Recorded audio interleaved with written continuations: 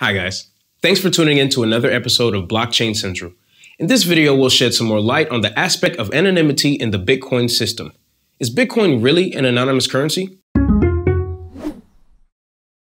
Before we dive right in, please note that the content does neither represent financial, legal, or tax advice, nor is it supposed to be understood or interpreted as solicitation to buy or sell any securities, coins, or tokens. What does anonymity mean in the context of Bitcoin? You might be surprised to find out that under some circumstances, using Bitcoin as a means of payment is actually a lot less anonymous than using good old cash. Hence, in this case, the transparency and accessibility of all transactions on the public ledger is a double-edged sword. On one hand, it is an important feature for creating consensus among all network participants and to validate transactions which create trust. On the other hand, all the publicly broadcasted information can be aggregated and potentially used to attempt to uncover the identity of users behind wallet addresses. So, if you're actively using and spending your digital currencies, this is an important aspect that you need to be aware of. Before we dig deeper though, let's first start with the basic question. What exactly is Bitcoin if it's not anonymous? Well,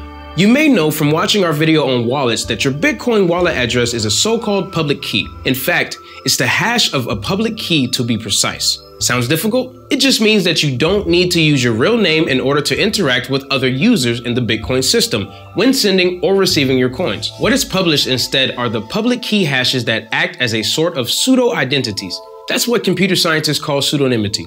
So, you now may wonder if you're using a pseudonym and you can even create as many of these as you like, does that make you anonymous? Well, the short answer is not exactly. Conceptually, Anonymity is pseudonymity combined with unlinkability. That means I am only truly anonymous if interactions with the network that I do under my pseudonym cannot be tied to each other by someone else. That is not the case in Bitcoin. So, to answer the first question, Bitcoin is pseudonymous and not anonymous. So, why exactly is it possible to de-anonymize Bitcoin users? Let's think about how Bitcoin transactions roughly work. All transactions are preceded using public key cryptography. This just means that the digital signatures are used as a way of proving ownership of your coins. The so-called chain of digital signatures means that each transaction is linked to the output of the previous one to verify that the user has enough funds to perform the new transaction. What happens every time a new transaction is made is that it is cryptographically signed by the user with his private key. Then, the transaction containing the input and output addresses and corresponding amounts is broadcasted to the network where other nodes can validate it. Therefore, if we think about it, the Bitcoin system essentially consists of two layers. One that we call the application layer, which includes the information that is stored on the blockchain, and the one that we call the networking layer, which is the peer to peer network in which messages are sent around. Both of these layers can be used to de anonymize users. Now that you understand that Bitcoin is pseudonymous, and both the application layer as well as the networking layer hold information that can be used to uncover the real world identity behind users.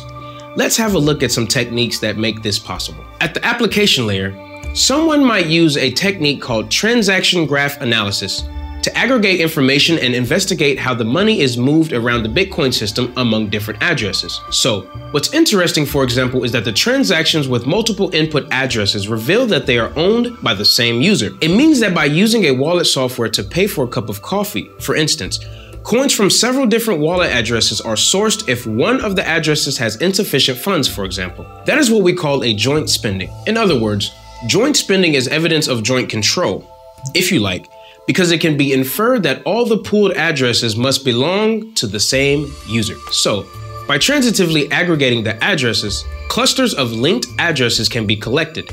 Since all of the information is stored in blockchain forever, it is possible to gain more information on the user's activity by looking at these clusters over time. Likewise, spending patterns can then be revealing of the user's identity. Another way to infer the real-world identity from an individual's address clusters is by analyzing the interactions with clusters from already known service providers. So, if you think of the coffee example again, your interaction with the coffee shop reveals an address that corresponds to you. This, in turn, can be used by the other party to tag your cluster. Another important fact in this context is the high centralization in well-known large service providers, such as wallet providers or exchanges, for instance.